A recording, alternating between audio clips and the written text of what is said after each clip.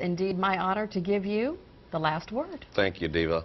Well, folks, this is my official goodbye. My final newscast as chief anchor for WDSU. I shall miss all of my wonderful and talented colleagues here at WDSU and all of my friends at the competing stations here in the city as well. But most of all, I shall miss you, the members of our viewing audience.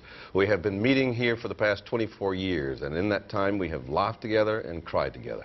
You have supported me through good times and bad times. You have allowed me to live out my dreams anchoring a primetime newscast here in the city that I love.